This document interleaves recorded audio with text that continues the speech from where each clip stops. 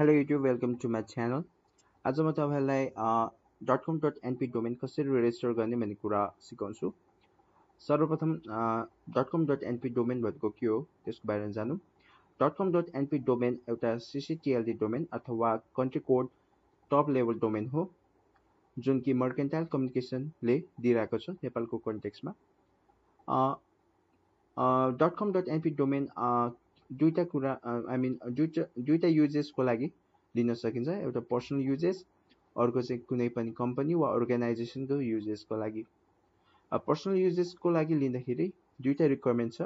एउटा scan copy तपाईँको नागरिकताको एउटा स्क्यान कपी वा लाइसेन्सको हुँदा पनि हुन्छ वा पासपोर्टको पनि चल्छ। त्यसपछि एउटा कभर लेटर वा एप्लिकेसन लेटर चाहिन्छ। यो दुइटै डकुमेन्ट्सहरू जेपिइजी फर्मेट वा पिक्चरको फर्मेटमा हुनुपर्छ। अर्को कुरा तपाईँले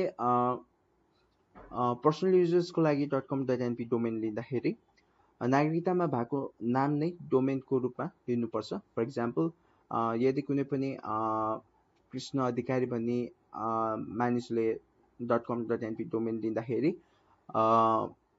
आफ्नो डोमेनमा Krishna Adhikari dot com dot NP राख्नुपर्छ। यदि Krishna Adhikari dot com dot NP available छैन भने मात्र अरू अप्सन चुज गर्न पाइन्छ। सो अब सर्वप्रथम डोमेन रेजिस्टर गर्न मर्केन्टाइलको वेबसाइटमा जाऊँ र मर्केन्टाइलको वेबसाइट हो मस कम डट एनपी मर्केन्टाइलको वेबसाइटमा गइसकेपछि यहाँ माथि सर्भिसेसमा क्लिक गर्ने त्यसपछि वेब सर्भिसेसमा गएर डोमेन रेजिस्ट्रेसनमा क्लिक गर्ने। डोमेन रेजिस्ट्रेसनमा यहाँ domain registration under dot NP ccTLD is free of cost भनेर लेखिएको छ। त्यहाँ रेजिस्टर हेयर पनि छ। रेजिस्टर हेयरमा क्लिक गर्ने। रेजिस्टर हेयरमा क्लिक गरिसकेपछि यस्तो एउटा पेज आउँछ जहाँ आफ्नो जहाँ हामीले आफ्नो डोमेन चेक गर्नुपर्ने हुन्छ। फर्स्ट बक्समा आफ्नो डोमेन राख्नुहोस् र सेकेन्ड बक्समा कुन चाहिँ फर्मेटको डोमेन चाहिए त्यो लिने। फर इक्जाम्पल बायो एनपी चाहिँ बायो एनपी लिने वा पर्सनल युजेसको लागि जेनरली हामी. डट कम डट एनपी नै लिन्छौँ। त्यो. Dot com dot NP choose गर्ने र डिजायर डोमेन नेम लेखिएको ठाउँमा चाहिँ आफ्नो डोमेन चेक गर्ने। म यो स्याम्पलको लागि ट्राई गर्दैछु। सो म आफ्नो just for sample I am using this domain so just try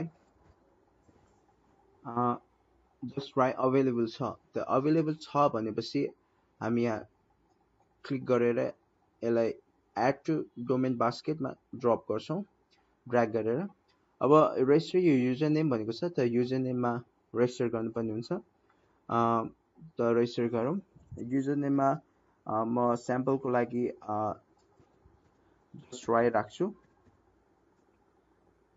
USDRY इमेलमा एउटा भेरिफाइड तपाईँको आफ्नो भेरिफाइड इमेल राख्नुहोस् म यो स्याम्पलको लागि राख्दैछु यति गरिसकेपछि यो रेजिस्ट्री फर्म भरिसकेपछि हामी रेजिस्टरमा क्लिक गर्छौँ रेजिस्टरमा क्लिक गरिसकेपछि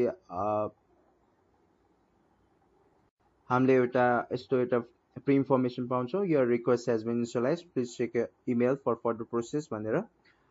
यसपछि चाहिँ हामीले आफ्नो इमेलमा चेक गर्नुपर्ने हुन्छ। त्यहाँ एउटा भेरिफिकेसन लिङ्क आएर बसेको हुन्छ। र यसपछि के गर्ने भन्ने कुरा म अर्को भिडियोमा भन्नेछु। So subscribe like the video thanks for watching